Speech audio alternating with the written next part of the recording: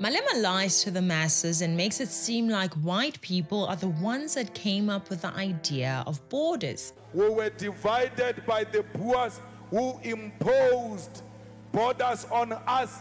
We never said we want borders. These borders were imposed on us by the colonizers. We are one people. He wants everyone to blame white people for the borders that exist between countries. I don't understand why we support someone who is so obviously inaccurate. Welcome to Citizen Concerned, where we remind you to be careful of the comrades. A simple search in history will show that Malema is a liar, and if he's not a liar, then he doesn't have a clue what he is talking about. Egypt existed as a country with its own borders for more than 5,000 years. It had its borders, and those borders have changed several times. The Egyptians were neighbors to a kingdom named Kush, which they raided and or traded with throughout the centuries. Ethiopia is also among the oldest countries in the world. It has existed for thousands of years under different names such as Abyssinia. Menelik II destroyed the Italian kingdom's first attempt to take Ethiopia during the scramble for Africa. It managed to protect its borders from invaders, aka colonizers. The kingdom of Dahomey, located in present day Benin, was in big business, the business of slave trading. It raided the borders of other kingdoms to take slaves. Kingdom of Dahomey's borders were raided by the Kingdom of Oyo, which included present-day Nigeria in 1740. The Alawite dynasty, which is present-day Morocco, is known for its wars to expand its borders. Where were they expanding those borders into? Thin air? No, it was into other African kingdoms' borders and as the culture in those days, they would take slaves and sell them to Europeans and Arabs. Other kingdoms that existed with their own borders long before the colonization of Africa are the kingdom of Allada, the Ashanti Empire, the Songhai, and Mali empires. All these kingdoms had their own borders, but borders changed over time. Modern borders have created stability and security as well as more peace for most of the earth. Zimbabwe, it's our home. Let's go Zimbabwe. We are one thing. Mozambique, it's our home. DRC, it's our home.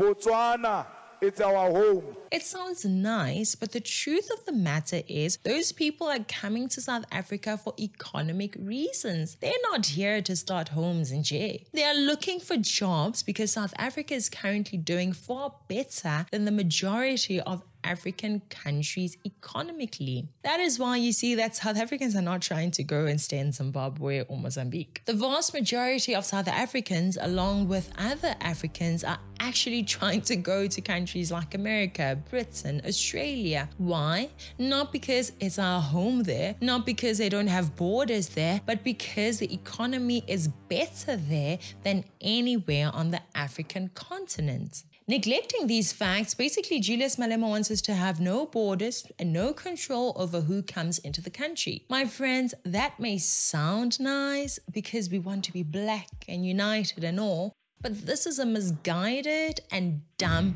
idea. You don't agree? I have some examples for you. Biden and his party over in America love the open border policies while most of the citizens are against it.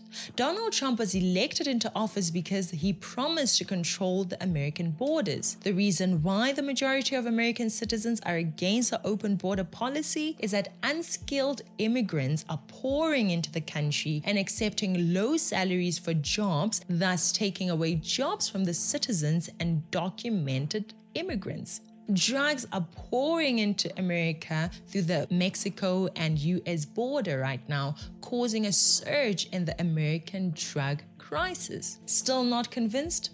Let's go to Paris. Paris is struggling with foreigners. Half of the crimes committed in Paris public transport are credited to foreigners. Africans alone are responsible for 52 52% of such crimes while only representing 3.2% of the population of France. 52% of crimes are committed by 3.2% of the population, that population being Africans, foreigners. Now let's come back home. South Africa already has a serious drug and crime problem, and there is one nation that is very commonly named whenever drugs are mentioned in Africa. But we won't name them here, so let's move on. South Africa is failing to employ its own citizens. More than 7 million people are unemployed, and that number continues to grow. If all agree that Africa must allow free movement, where are all these immigrants going to be employed? Where will they live? Does that even cross our minds? Look at the overpopulation in Hillbrow and Joburg CBD. The economy of a country dictates the population of people that can be sustained by that economy. South Africa does not have enough doctors, hospitals, schools, roads, jobs, and houses for its own citizens right now. And Malema is telling us that the Europeans imposed borders on us. We never asked for them. We don't want them. We should get rid of them and then we cheer him on? Like, really? We're cheering that on? What about the fact that the more immigrants we have coming into South Africa, the fewer resources we have for everyone?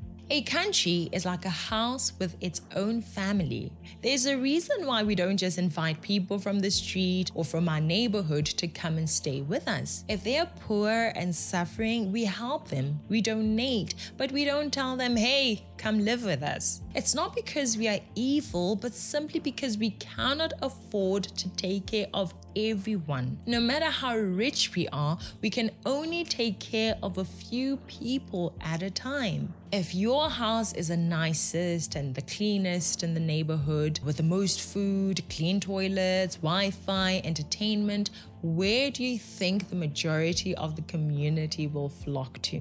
There, right? By doing this, you're going to welcome undesirable kinds of people into your home. Criminals can easily make their way into your home, and you would never know because the gate is open for all. The border is open for all. I have to control the people that come to my house. Otherwise, my children will not be happy when there isn't enough food, when there are no rooms for them, when they can't receive pocket money, or when I say we don't have money or we can't afford medical aid, right? Know your history and don't cheer anyone just because he has a loud mouth and makes you feel good. Now, you know that Africa has always had borders in its various kingdoms that existed way before Europeans came to Africa. And you now have seen a glimpse of the dangers of open border policies. Share this with others so that more people are informed.